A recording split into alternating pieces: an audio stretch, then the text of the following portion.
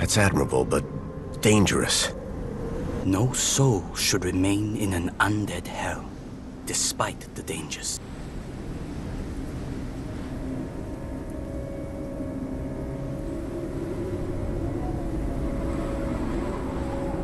Come with me.